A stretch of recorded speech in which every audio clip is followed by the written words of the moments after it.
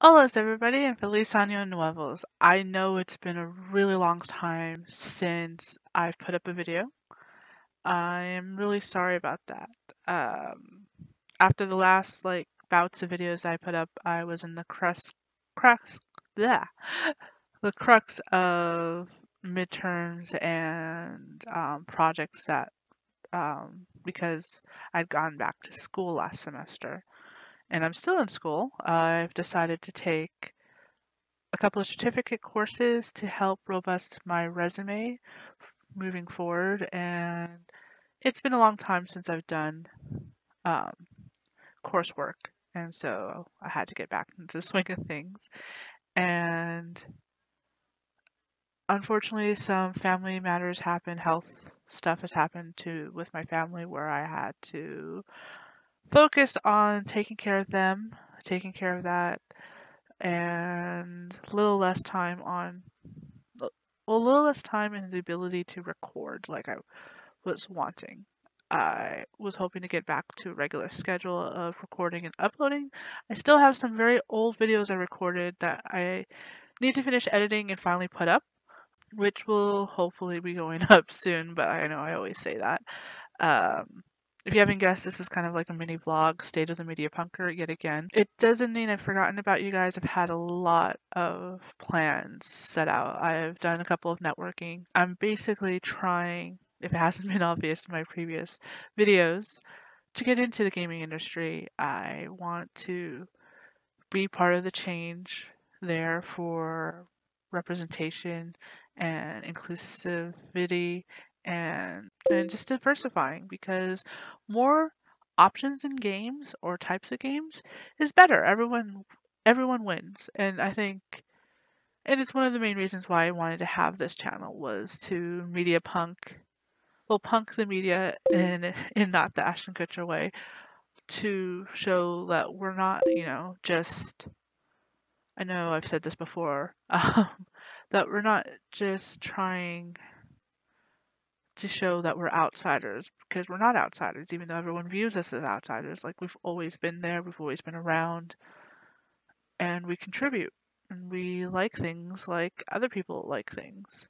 So I've been fortunate enough to live in a city where I can go to events and on my spare time try to focus and network with people, make new friends. Made a great friend with the owner and creator of Nascent Games, and I'm probably mispronouncing that, from Sacramento, Gabriel. Um, he's an awesome person. He's pushing out a game that I've been planning to actually record the first chapter of because I just love it. I won't speak too much about it right now. Um, I will link to his company below and the game so that you guys can check it out before I get a chance to make a video of it because it's fun and quirky and yeah. Anyways, so I've been going to networking events. I've been trying to help out. Um, I don't think I made a video post TwitchCon. I honestly don't remember. I did go to TwitchCon last year. I've gone for the since it started, so for the past two years. I was had a fortunate opportunity to work for Tanya DePass of I Need Diverse Games. She needed someone to man the table because she was unfortunately at another convention that was happening at the same weekend. So I took care of that. Um, it was part of Inclusivity City, which is what Twitch decided to add on to TwitchCon, which was an area where people could talk about the things we don't really talk about in game industry or there's a few people that have been talking about it like I need diverse games but hasn't been reaching like the broader audience. Um, so I was happy to be there to represent her nonprofit organization and doing what I've been talking about um, critiquing games that does have diversity or lack of and trying to help people get into it, try to raise up the voices of the people who are already trying to get into or just started and have games or opinions or anything like that um, to make light, make known to everyone else. So that was really fun. I'm really grateful that I was able to help out there.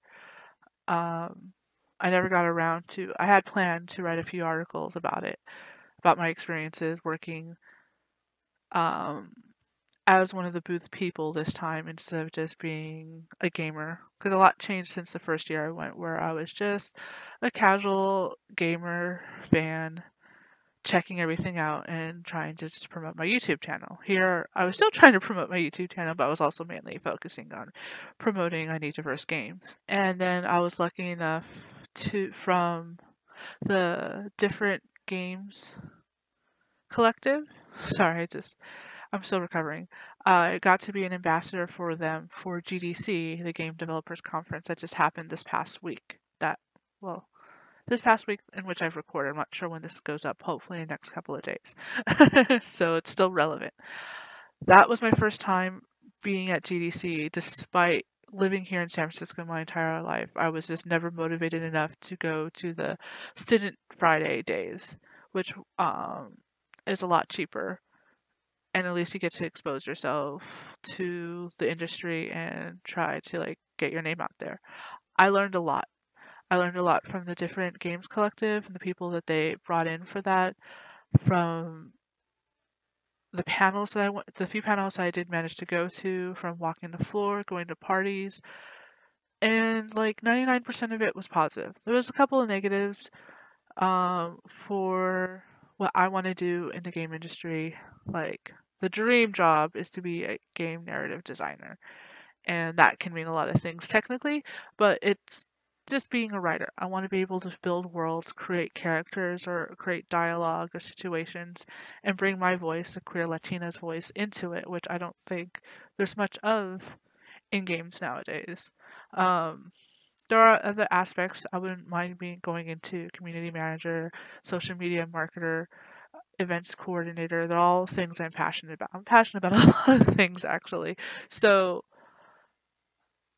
but it's yeah, it was an eye opener. Um, if people are interested, I can either attempt later on, uh, write a vlog, not write a vlog, either write a blog post about uh, my feelings and and what I've learned about going to GDC or make another vlog post like this dedicated to just that. I will say again, I'm grateful for everyone that I met. Even if I didn't hand you my, my card and we just chatted a bit, um, it was still, it was, I met a lot of great people. I don't think I met anyone I wasn't open to listening to what I had to say that seemed very negative, at least in person because you know online there's more likely to be trolls in the tags than anything. Um, but yeah in person everyone was fantastic.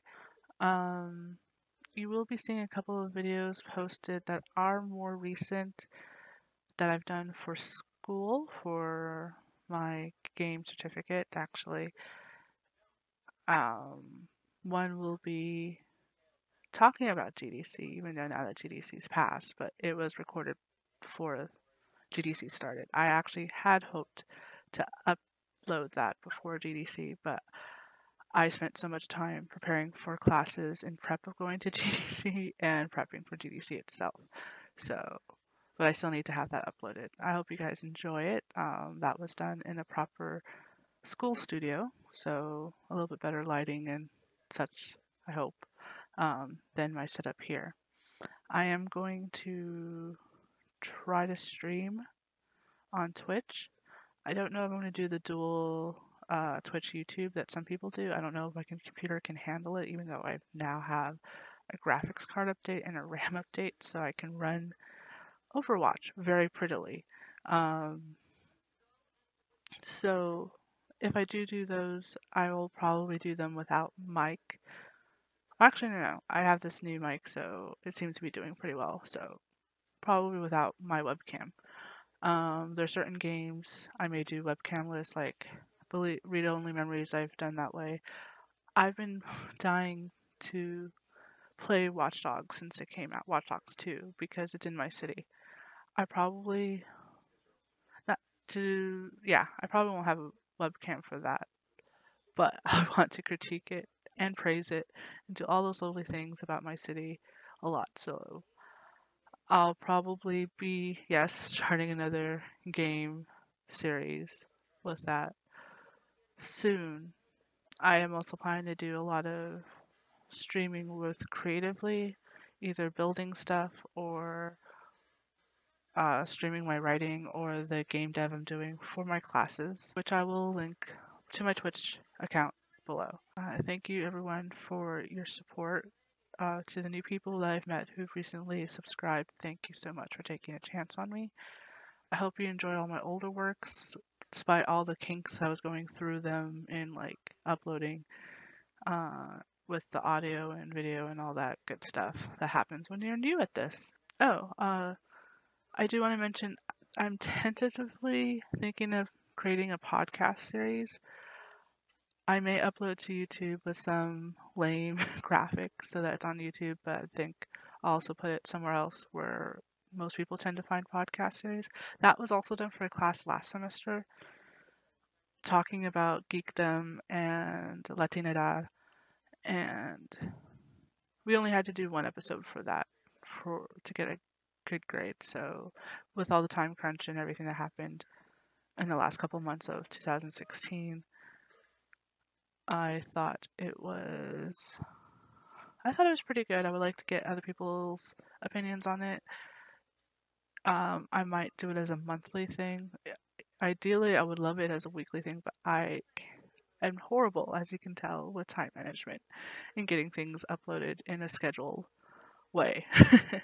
so I'll either be producing that in a monthly, bi monthly way and have it be longer than what I had for the first episode.